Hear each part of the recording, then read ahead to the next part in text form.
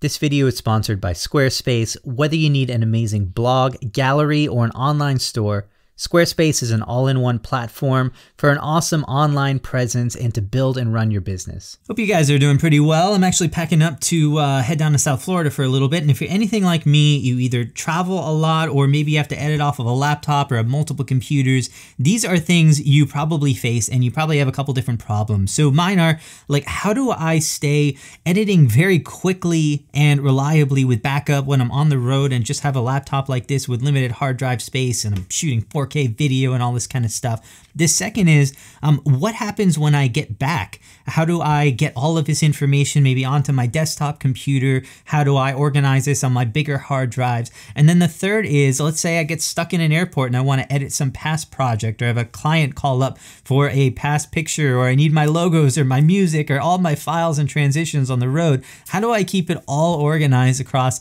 any amount of computers that I have? And maybe it's just me, but I've had two hard drives go bad this month alone. I've been really batting 100 on this one, but all of my stuff is safe. And if I didn't have this workflow in place and these tools in place, I probably would have been screwed. So here is the optimum workflow and gear that you need to keep yourself organized when you're traveling and when you're editing on the road. Um, this is mostly for the photo side. If you want, I'll do a video on the video side of things. Hit a like for me and let me know if you want to see that as well. And here are all the tips that you need to get started. So the first thing you're going to need is some storage tools. There are three main things that I need and the two that I travel with are going to be this. You need a working drive. A working drive needs to be fast. It needs to be tiny because it needs to travel with you everywhere you go. And it needs to be ideally pretty rugged, so like drop resistant and water resistant or anything like that.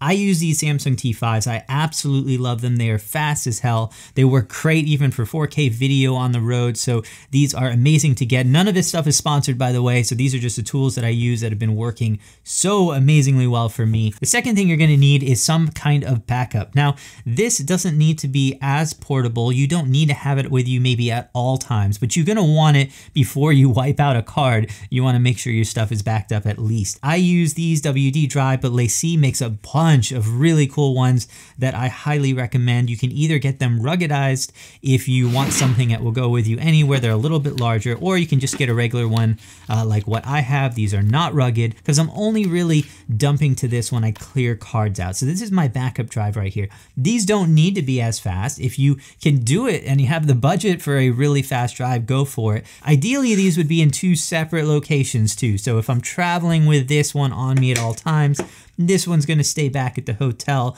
to keep safe in case my car gets robbed or anything like that. So the last piece of gear that I use, and when I started using this, it was like just a mind blown experience on what this offered. It revolutionized everything for me. I should get paid for talking about this kind of crap because it like it did so much for me. And that is a NAS drive or a network attached storage drive. And um, this is actually my old one right here. I'm now using a Synology 1019 Plus, um, five bays in there. I've got about 50 terabytes inside of this. But there are a couple reasons that you're going to want this. Um, the first one is that multiple drives allows for redundancy. So I know that if any one of my drives goes and one of my drives just went uh, last week. All my other data is pushed onto all the hard drives so that there's always a duplicate. So I just pop out that bad drive, I sent it back, I got a warranty replacement, put the new one back in, all of it kind of reorganized itself onto the drives and I never lost anything. I never went down for more than a second. It was just fine. I had to pull out a drive, put it back in, hot swappable, super, super easy. The other reason is that because this is network attached, it means that all of my computers are all the time backing up to this drive. So my desktop, my laptops, either wirelessly or wired can be backing up to this drive. And then it means that I can actually access any file from this drive from any device in the entire world. Doesn't even have to be my computer, can just be any computer or my phone. I can quickly pull a picture from the desktop, a logo, anything like that. So I never have to worry if I accidentally left like a music file I wanted or a picture for a client. It's always on this drive and I can access it anywhere. So this is actually crucial. Um, I'll throw kind of a more budget friendly option out there, but I highly recommend these. They are amazing and they just revolutionize what I could do. So now it's time to put this into action, talk about the workflow, but first, Shout out to Squarespace for sponsoring this video. I'm sure you guys need a website, or maybe your website just needs a little bit of sprucing up. Head to squarespace.com, check out what they have to offer. I mean, you guys already know they have a ton of awesome templates that make it crazy easy to get your site on the way, even in a matter of minutes. But check this out. You don't even need custom graphics or product shots to get started. So I want to add a picture for my camera guides right on the front page. So I can just click a little image search, type in camera, and bam, I have all of these amazing images I can use as the thumbnail. But maybe you've got a food blog, no problem. Squarespace has you covered there. And check this out, I can actually go in here, change my photo settings, maybe go black and white, control my crops, custom filters, everything that I need. So now I can add products to sell for an online storefront, create some awesome galleries, which I can even password protect from my clients, and have my latest Instagram images imported right to the gallery or even post automatically to the website homepage. Just go set it up. It's 100% free to try out. It's no credit card required. Just use the coupon code Learning Cameras and you'll get 10% off and go live with your new site today.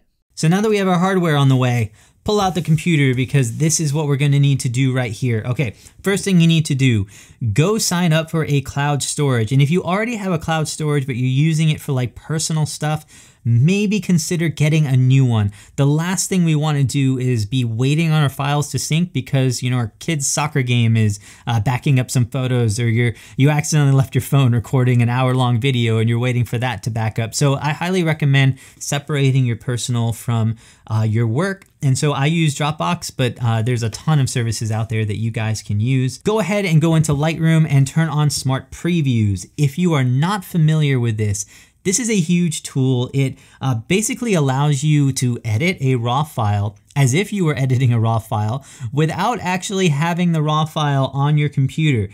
So this is very important because a RAW file can sometimes be 50 to 100 megs each and you could never be able to store. I could never store all of that on my computer and I might not have some of these drives with me and want to worry about having them all hooked up. So what we're going to want to do is create smart previews for all of these files. That's going to allow us to edit all of our raw files. These files take up about two megs, so I have no problem storing those in an online Dropbox folder. Two megs a picture is nothing. And then that is going to allow us to do some tremendous stuff, which I'm going to show you in a second. Now, anytime that I have a shoot, what you're going to do is take your raw files, copy them from your card to that Samsung T5 or whatever your working storage is.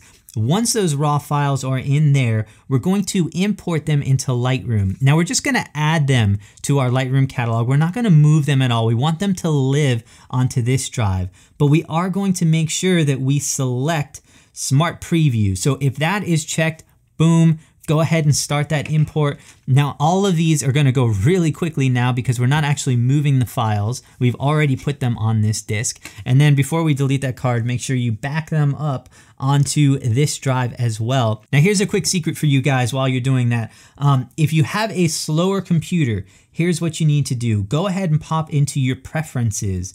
Under the Performance tab, go ahead and check Use Smart Previews instead of raw images for editing. This is going to dramatically speed things up because instead of looking for these raw files on your T5 or whatever you're using, it is going to use those two megabyte raw files that are stored locally on your computer, or, or not raw files, but smart previews that are stored locally on your computer. Those are gonna edit so much faster. And the only downside really is that if you're shooting with super high resolution cameras like 24 megapixels and up, you'll notice that you won't be able to zoom in quite as much without quality loss because um, I think the smart previews are about 2500 pixels. Now the raw file still exists, so don't worry, we're not losing any of that. But if you're editing based on the smart previews, they are going to be smaller resolution. But if you have a slow computer, that is going to dramatically speed things up. So now we're gonna just edit like normal off of our laptop. Uh, if you wanna edit later on a desktop, no problem. Those files are all gonna be synced. I can pull open that catalog on any computer, edit them. Even if I don't have this attached with the raw files, the smart previews are gonna allow me to edit them whenever I want to export or get the full resolution files out I just plug in my T5 into whatever computer. Those files will now sync up. So now I have my raw files connected, Lightroom will see them, and now I'll be able to export the full resolution files. So the last line of defense is gonna be the Synology drive. And what that's gonna do is that every file from this computer is gonna be automatically backed up to this. I can also set these drives to back up to here. And that also means that I can access any file from any past project. If it wasn't on any of these drives and I need the raw file, I can always access it here. So hopefully this helps you guys stay backed up. Appreciate you guys hitting like. Again, I'll be hanging out in the comments if you have any questions on this workflow or gear I can help you out with. Hit me up on learning cameras at uh, social media, Instagram, Facebook, whatever you guys want, Twitter. I'm there as well. Thank you guys so much for watching. I'll see you soon in a new video.